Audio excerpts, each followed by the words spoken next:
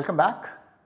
In the previous segment we discussed the standard library class set and pair and also briefly talked about unordered sets. In this segment we are going to discuss a little bit about how data structures are implemented. Okay. So, all these things sound like magic, but of course there is some code which is running behind them. So, I want to tell you a little bit about that code. So, the first class that I am going to discuss is the vector class. Okay. Now, the vector class is implemented in a manner similar to the string class. I should I guess capitalize this because by the string that I have that I mean over here, I mean the string that we discussed in one lecture, not the standard library class string. Okay. If you remember, so we discussed a data structure or a class for storing character strings and we ended up writing things like constructors, assignment operator, copy constructor, destructor and also concatenation operators. Okay. So, the vector class has been implemented by someone in a similar manner. Okay. So, what is the difficulty? What is, what is sort of the key difficulty in implementing a vector class? What is the key question that we need to answer? Well, if we are doing a pushback operation and if the current array that has been allocated to hold the elements of the vector gets exhausted. Okay, what I mean by that is currently you have 100 elements allocated and you push back one more element. So, now you have 101 elements which are stored in your vector. What do you do? Okay. Well, clearly if you remember what we did in the string case, what you will have to do is you will have to allocate a new array. Okay. Then you copy the content of this array into that new array and then you delete the current array. So, if I may draw a picture, this is your current array. Okay. Or array, this is the array pointer and this is pointing to this array. So, if I do a pushback I really want to store that element somewhere over here okay. But this area is not given to me. So, what do I do? I, I ask for a bigger array okay. I may just ask for an additional element and I may just ask for just a little bit more but it turns out it is good to ask for a much larger array.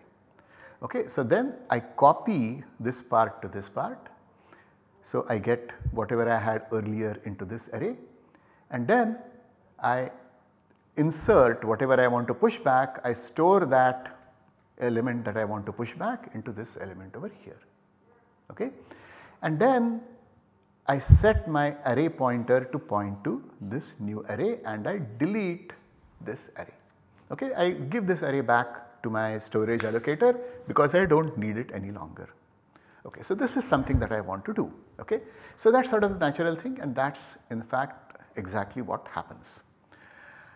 But there is an interesting question that I have not answered which is how big an array do I allocate? Okay. Now turns out that it is a good idea to double the size. Okay. So, why is that? If I double the size then subsequently if you do more pushbacks you will not immediately have to allocate and copy and things like that. So, you will be saving on your copying cost and additional allocation cost. Okay. You will be wasting a little bit about little bit of memory but how much memory are you wasting? Well you are wasting exactly as much memory potentially as you, you have elements. Okay. So, you are wasting a little bit of memory but time you save because of not having to copy too frequently is a lot more important. And it turns out that it is possible to prove in fact okay, that if you sort of do this doubling idea okay, then the copying time is not too large. Okay. In fact, you can then think of vectors as being as efficient as arrays. Okay. So, when you have an array you do not have to do any copying right. the memory is given to you once and for all. Here you do have to do some copying once in a while, you have to do, uh, allocate ask for new memory. But what this is saying is that if you have this doubling strategy then you can ignore those costs. Okay? Let me acknowledge that I have, I have not explained exactly why this happens. It can be explained as I said you can actually prove rigorously what I am saying okay. But that is not a part of this course. You may see it in some other courses say a course on data structures okay. But it is worth knowing that vectors really are practically as efficient as arrays. Let me next say a few words about implementation of ordered sets. Okay. First of all let me acknowledge that this implementation is very tricky. Okay. We have not even begun to think about how ordered sets can be implemented in this course. The ideas are quite quite clever okay and we have not seen them okay. Having said that let me just give you a hint okay. What happens when you store an ordered set? Well of course there is some memory allocation that happens but at the end you get the effect that all your set elements are effectively stored in some sorted order. So, they are not actually they are not actually in sorted order, but for practical purposes they are in sorted order. Again this is intriguing and I am sorry to intrigue you, but well maybe this is this should be an inspiration for you to take the data structures course. Anyway what happens is that effectively the elements get stored in a sorted order and why is sorted order important? Well that you know the answer to. Okay? So if I want to decide whether an element is present what can I do? Well I can do binary search. Okay, so this binary search like idea also works and we have discussed binary search long ago and we have seen that binary search is actually very fast. You do not have to look at all the elements of the set. Okay? You only look at log of the size of the set that many elements. Okay? So, the time proportion, the time required to determine whether an element is present is proportional to the log of the number of elements. So, this happens very fast and that is another reason for you to be using a set and uh, uh, the, the set class because it is actually a very, it actually has very fast operations. And let me just mention over here that maps which you studied, which we studied in the last lecture are also implemented in a similar manner.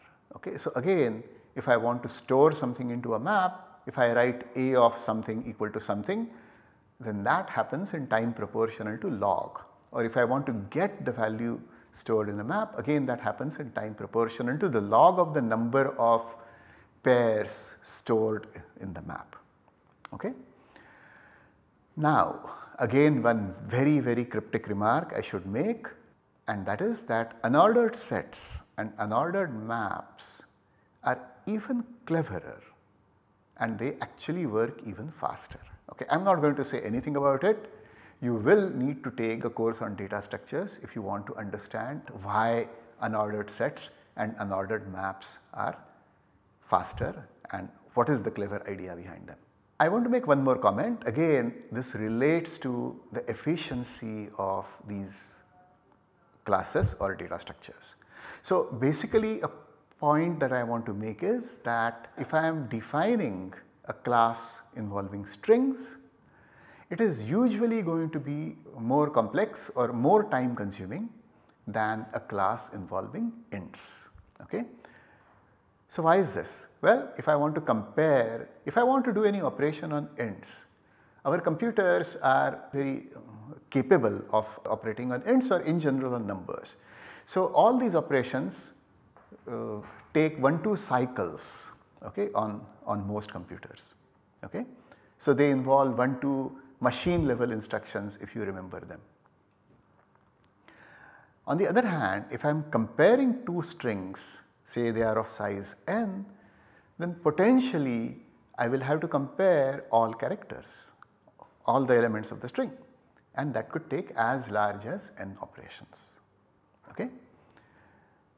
So that is the basic issue okay, that if I have things which are built up using strings then strings are long obviously and therefore the time taken to do something with strings is usually longer than the time taken to do something with integers. Okay? So in other words what I am saying is that if you are counting, if you are looking at the time for operations on sets or maps or vectors of strings that is usually going to be bigger than the time for operations on sets or maps or vectors of ints. Okay? And therefore, it raises the question can we minimize the operations on strings. So, if you are writing production quality programs this will be an important question. You will want to minimize the operations that you perform on strings. Okay? This is a point that I want to raise right now just to alert you to it, but in this course, in this course we are not going to worry about this point. Okay? So, in this course we are going to ignore this issue, but this is just a point that I want to want you to keep at the back of your mind and again you can think about it when you do the data structures course you will see why this is the case. Alright, so what did we discuss in this segment?